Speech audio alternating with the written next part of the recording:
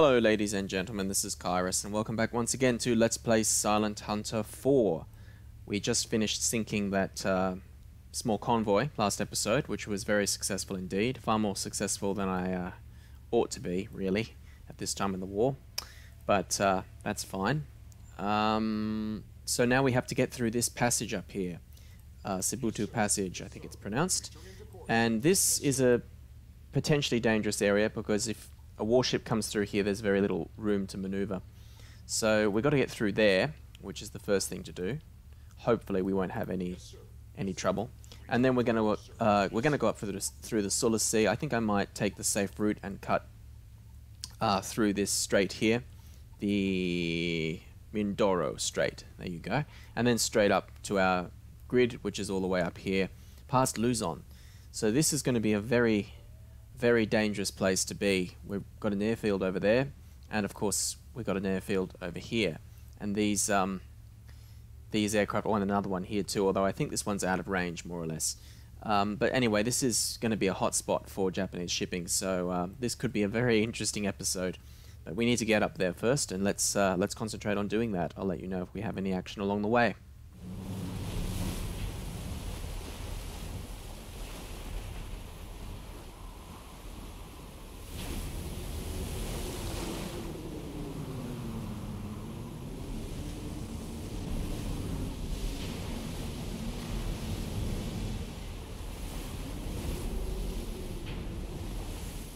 Okay, well, we are at periscope depth, and we're going to stay at periscope depth because we have reached the passage, and obviously I don't want to be anywhere near um, the surface while we go through there. Uh, you can see we're getting along at head standard. I think I'll stay at a head standard. I'd like to get through there as quickly as possible. Um, those propellers are getting along quite fast, but I don't think we're likely to get heard in this weather. It's pretty stormy up there, so we'll continue along at head standard for as long as we can and I'll slow down if we need to save battery power. But uh, what was I going to do? Oh yes, map. So we are here. Um, so we've got 30, about 35 miles to cover uh, before we get, or maybe a little bit more just to be safe. Probably about 40 miles to cover at uh, periscope depth, just so that we don't um, get spotted by anyone that could possibly be around here. It's a very clear day up there, and I'm just not I'm just not going to risk it. So I'll let you know if we pick up anything along here. That's the other advantage of being at periscope depth. We can hear if there are any ships in the area. So uh, I'll let you know if we uh, if we have trouble. Otherwise, I will continue out of the passage and I'll get I'll get back to you once we're in the Sulu Sea. Okay, we've got through the Sibutu passage here, which is fantastic. I've just surfaced the boat. The men were getting a little bit hot and sweaty down there. We needed some air. Um, but now we have to head through the Sulu Sea and up through this strait here, which is going to be um, a bit hairy as well. Um, I might do this at periscope depth as well, because this is going to be a hot spot for enemy shipping. Then I'm going to, as you can see, cut um, more or less almost due um, due west because I want to avoid the airfield here. So as tempting as it is to go into Manila and see if we can catch anything, nope, it's not going to happen. We're going to skirt out this way and then go uh, straight up to the Luzon Strait. So that's the plan for the course. Uh, I'll probably let you know when we get about here, where my cursor is, just when we, uh, we're off uh, Panay. Um, so we can um, think about going to periscope depth again to make sure we don't get sunk. Well, it's currently um, May 17th, and as you can see just by the way this boat is moving, it's pretty, uh, pretty rocky out there. But the men are doing a good job. I'm pretty happy with their performance. Uh, they're not getting tired or anything like that. That's uh, more of a Silent Hunter 3 problem. So um, we can concentrate on going to periscope depth now, I think, because we are in an area where we should be thinking about, yeah, staying quiet and staying low. Obviously, I won't stay at periscope depth the whole time. We're not going to make this in one go. We're going to have to surface uh, during the night um, so we can get some air and charge our batteries and so on. But I'd like to play it safe along here. Now, we did get some convoy reports. I'll just pop this up so you can see. Um, there's some stuff there you can read about reports, but they're obviously pottering around here. You can see them there and there and the times that they were reported in. This is actually along the um, coast of the Philippines here is actually where I like to um, uh, to hunt along the east coast. I have a lot of success along here, so uh, that's a good spot. Also, Davao. When I'm um, in doubt, go to Davao Gulf there, which is a fantastic hunting ground. But uh, for now, we have to obey our orders and head up to this uh, area in Luzon Straits. But um, I'm confident we'll get through here without any trouble. But on the off chance that we do get spotted, particularly by aircraft, it's better to play it safe. So I will continue on. Okay, I've just been having a think here about uh, where we're going to be patrolling around um, and what we might be shooting at. So if we look at 29 on this map here, 29, the Takao to Hong Kong route, I think that might be worth investigating. So when we do, I think this will be within our, our circle. So uh, we might uh, have a look at that. We want uh, 29 because you can see there that's dated from 1942 uh, and uh, possibly 17, 17, yes, 1942 to August 44. Yep. So we might try and catch something coming out of um, in and out of Takao, uh, which by now should be well and truly under Japanese control, and uh, ships will be coming in and out of here. So this these routes here should be where we are looking. Um, but yes, let's get rid of that for now. We are getting closer, so uh, in a little bit we'll be at uh, grid, and so as you can see there, that's where we're going to be um, going to be patrolling around, and uh, I'm hopeful, particularly along this route here where my cursor is. Let's draw a line, shall we? Um, we should catch something coming between Hong Kong and Formosa. So that's that's where we'll be, be hunting up here, just further north of this circle, I think. Being careful to avoid this shallow water in the process. Okay, we have an incoming radar contact and it's heading very fast, so I think I think we should crash dive. Uh, let's just test under the keel first just to be sure. Yep, let's crash dive. This will be a good drill. It's not in visual yet, so it's not a huge, um, a huge problem, but it's better safe than sorry. That's why I'm glad we got radar. Alright, bring her down, lads. That would be really quite nice. And down we go. These uh, boats really do dive slowly, but uh, we're down now. So let's um, let's just make sure that we're not uh, going to hit the bottom, shall we? Uh, let's just ease off. That's fine. It Doesn't need to be too deep. They didn't see us. Slow down. And we'll stay down here for the rest of the day. Uh, obviously, they do send aircraft out this way, so I'd rather be safe than sorry. We'll, we will continue now to remain submerged during the day and take advantage of our hydrophone technology um, and just concentrate on listening out for ships. Which means we might not be here for a couple more days yet, but that's alright. I don't mind. The Pacific Ocean is a big place, and you just got to get used to long journeys, I suppose. Okay, it's uh, getting dark now, so I'm back on the surface. It is still pretty damn windy up here, and incredibly rough. But that's fine. We are doing our thing and just paddling along. I will show you where I am. Here we are, okay?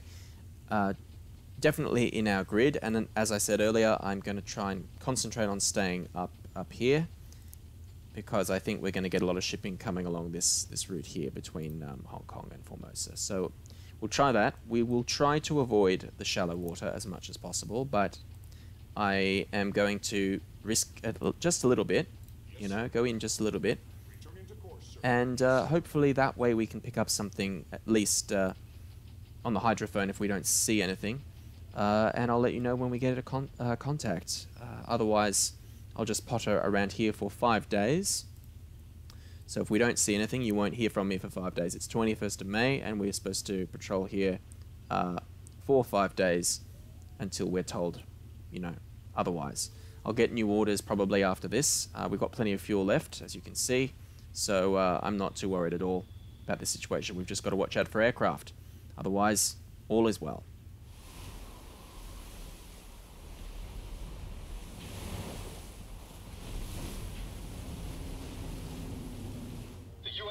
sunk the light carrier Shoho and damaged the fleet carrier Shokaku and two enemy cruisers at the cost of the oil tanker Neosho and a destroyer sunk. The Japanese Admiral Inouye was forced to postpone the planned invasion of Port Moresby. Okay, well, we've completed our objective here. Um, what's the time? 5 o'clock. Nearly 5 o'clock. 20 to 5. Um, do I go up into the Formosa Strait? I think we will just let them know what uh, what we've been doing. So we'll send off a status report. Break radio, uh, break radio silence. Sorry, I can't English today, as usual. Proceed to Area 11B and engage in anti-shipping operations within the designated area, East China Sea, for five days. So they want us to stay in the East China Sea. No surprises there. Where are they going to send us? Oh, there's a convoy report down there. I didn't notice that one.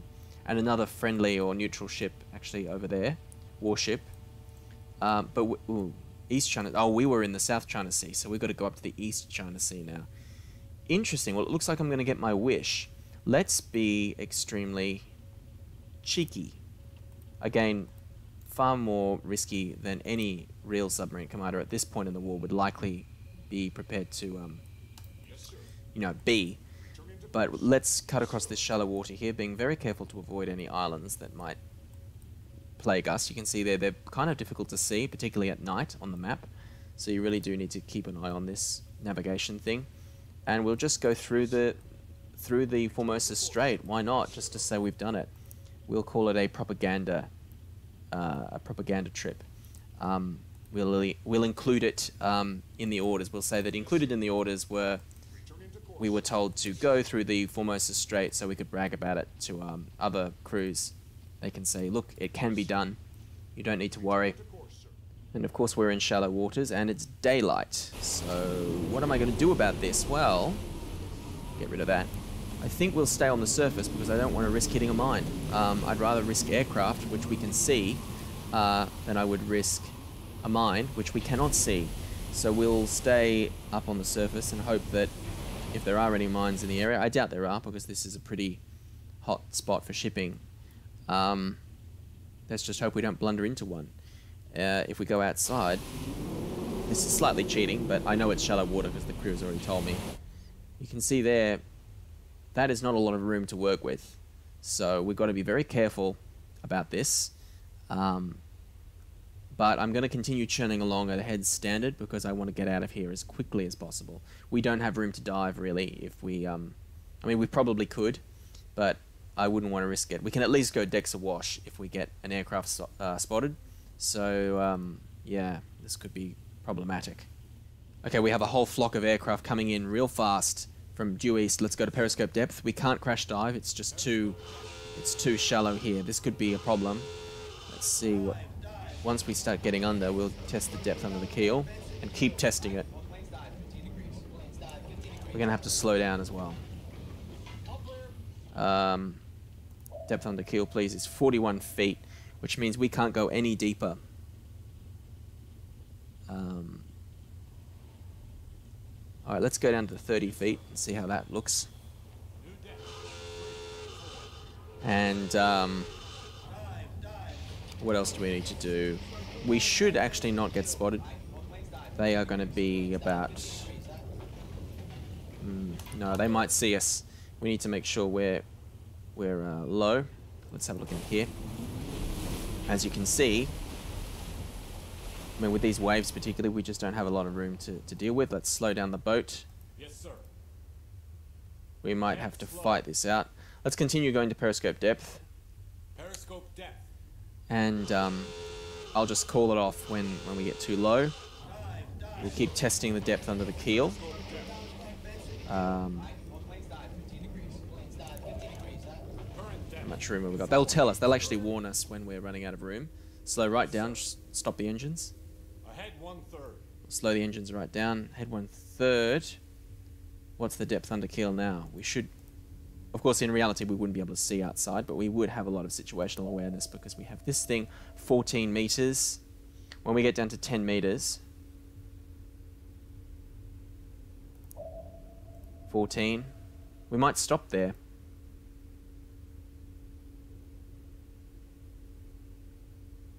I think we're going to stop there. Let's see.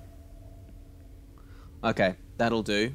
12, yeah, that's enough. Let's um, make sure we're just straightened out at 53 feet, apparently. And we will um, actually stop engines, I think. Yes, and just, I don't, I don't feel comfortable traveling um, at this, uh, at this depth. Uh, we're just going to stop engines. We're going to let ourselves. In reality, what would happen is the submarine would probably sink to the bottom and just sit on the sand, and we're going to stay down here until it gets um until it gets dark, basically, and listen and listen carefully. We'll take the um, the periscope up now and again. We'll put the periscope up now and again and just um, sit here because I do not want to risk crashing into anything in this shallow water and I do not want to risk being struck by aircraft. So here we shall sit and here we shall wait.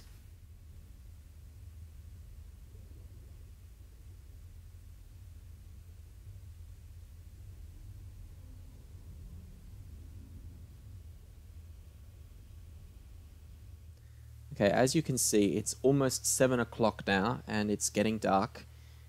It is extremely quiet down here, uh, almost frighteningly so.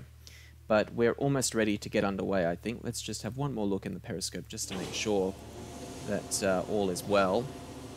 We have not moved for about, uh, oh, I don't know how many hours now, at least 8 hours. And looks like the horizon is going to be clear. They would be shouting at me if there was a ship nearby.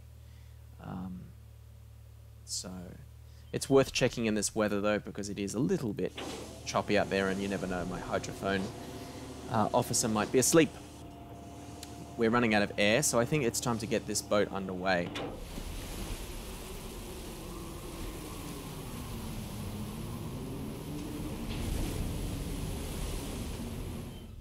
Okay, good news. We are most of the way through the Formosa Strait here, but we finally have a sound contact off the port bow bearing, um, what was its bearing? It's a, yeah, three, four, seven degrees.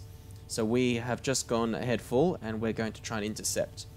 We are dangerously close to this airfield, but I'm not too concerned about it. It is dark after all, and very dark, I might add, out there.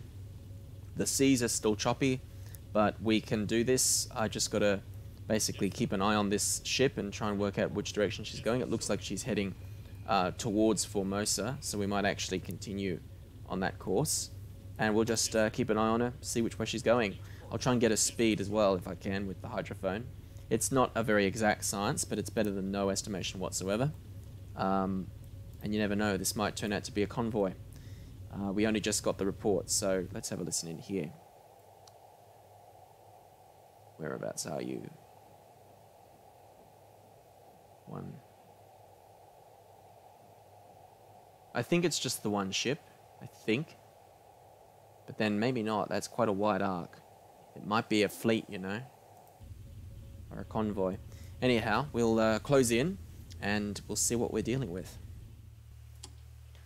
Four, three, two, one, zero. That's Mark. Uh, Alright, that's her speed, three minutes. We have a visual, as you can see.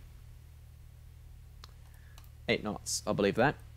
Back there with the hydrophone we got eight and a half. So we're going to say eight knots. Now, I have stopped engines. I'm sure you can hear that as well. It's a very dark night out there, so this is going to be probably another surface uh, night attack because that worked out extremely well last time. um, what did I just click? Following plotted course. Let's not do that. Make sure those engines are stopped, please. All stop. All stop. Um, got to be careful what I click on. She's still quite a way out. We've got another... Yeah, she's still got another five kilometers out. So we're going to have to let her get a bit closer, but we will use the time to get ready. Uh, let's just test the depth under the keel, 400 meters, so we've got room to crash dive if we need to. And what else do we need to do? Go to battle stations, please. Yes, sir. General quarters, general quarters, all hands man your battle stations, all hands man your battle stations. I'll mark this as well. Aha! Is it a whale factory ship? It might be, you know.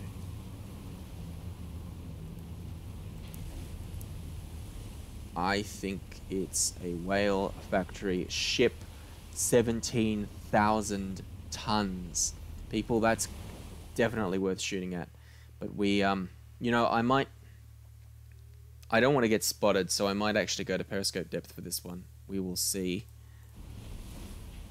Um, no, let's stay on the surface. let's stay on the surface and just let it get a bit closer. Because we can use the deck gun if we have to as well, which would be fantastic. Okay, so let's start actually doing this properly.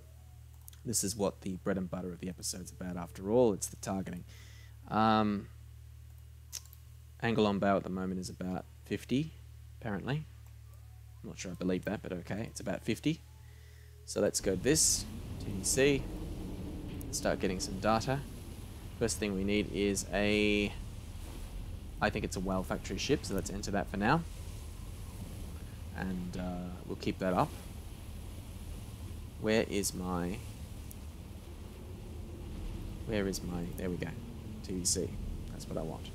Um, range mark and bearing.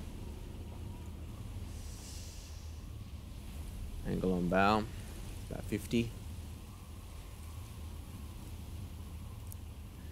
And yeah, we've got plenty of time. What I can do is go to this and check what her draft is.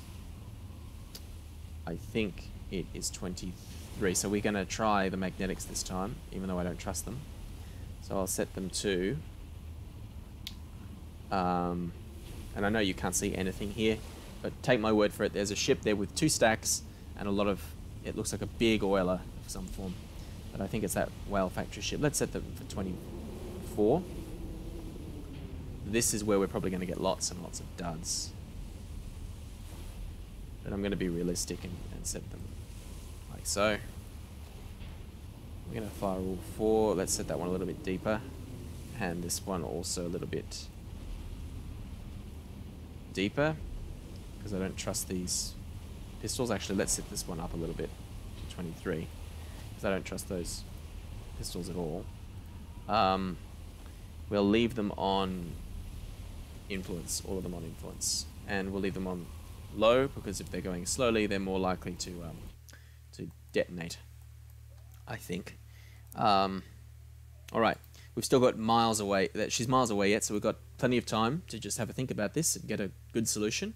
I'll cut here for a little while and let her drift a little bit closer. I think we are probably.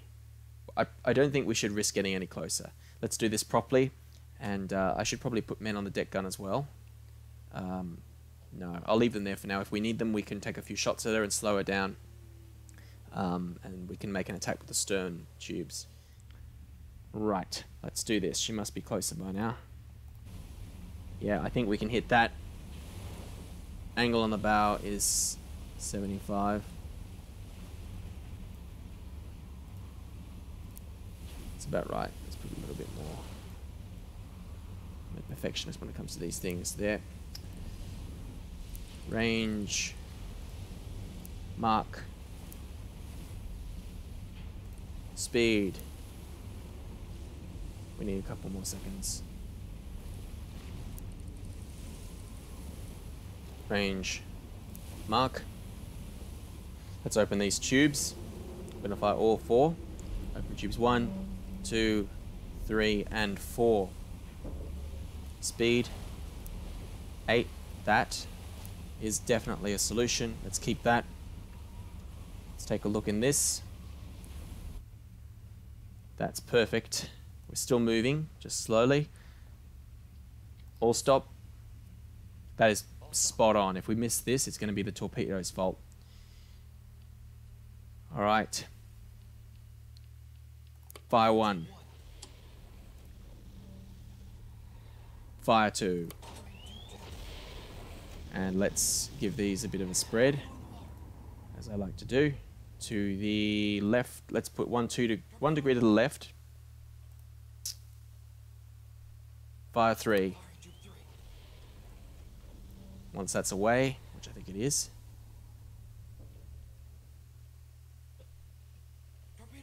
There we go. Fire four. Ooh, now this is going to be interesting. Let's go have a look out here. Get rid of that damn clock. See, we're not that far out. There will be torpedoes under here somewhere. There's one.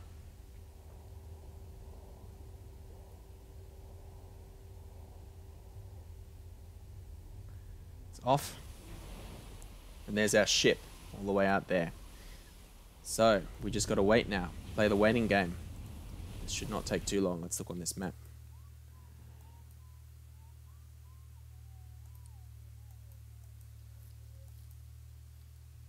Okay, they're looking good so far.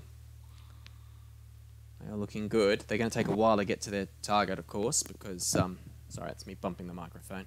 My bad. They're looking good. They're on their way to their target, all right. And um, I think this is going to be a hit if we don't have any problems with the torpedoes, of course. I set them for the correct depth for this ship. It's definitely a whale carrier thing, whale factory ship. 17,000 tons. That's all it could possibly be. And that is an absolutely perfect solution we got there for it. So if these don't go off, it's the torpedo's fault. Absolutely. Let's have a look on deck. Look, we, we've planned this absolutely perfectly. Uh, we should be getting a detonation any moment. Let's have a look one more time in here. They're coming closer. Yeah, they're going to be hits. I find them a little too close together in my opinion. In reality, you want to give a bit of room between your torpedoes because obviously detonation of one will set off the other. So um, we're going to get hits approximately now. Let's go up on deck and watch this.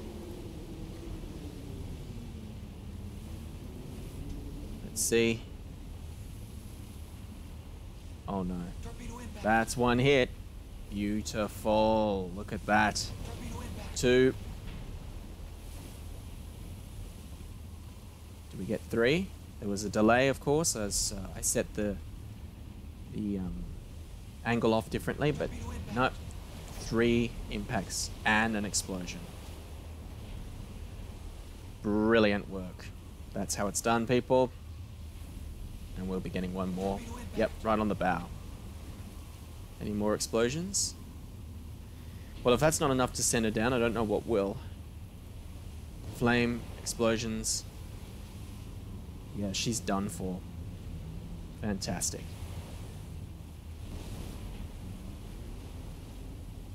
Yep, she's on fire. She's going down. She's going down. Didn't take long at all. She caught fire and oh my. That does not look good. that does not look good. That fire is spreading. Explosions. Yep. Goodbye, ship. Brilliant work, people. We can actually stand down from battle stations now. Ah. She's not going to last long. I love the way they leave a trail of fire behind them if they're oilers. It's fantastic. So that's great. We can uh, just start the engines again and, and think of getting out of the way of this, um, just in case she's got some kind of escort somewhere around. But fantastic.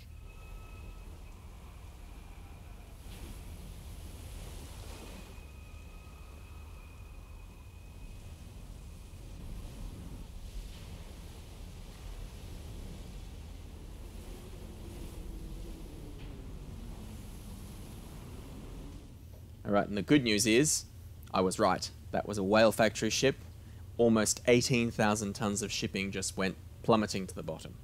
And uh, the date is May 28th, 1942, and that is a great catch. I feel like uh, the sports fisherman who uh, takes home the biggest marlin. So, uh, good results. I'm very happy with that indeed.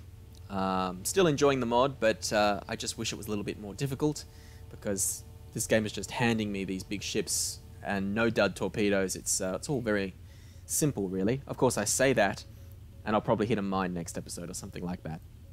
Hopefully, that won't happen. But anyway, I will call the episode to a close here. Uh, I think that's a good spot to to stop. Uh, this has been Kairos. I hope to see you all in the next episode. Thanks for viewing.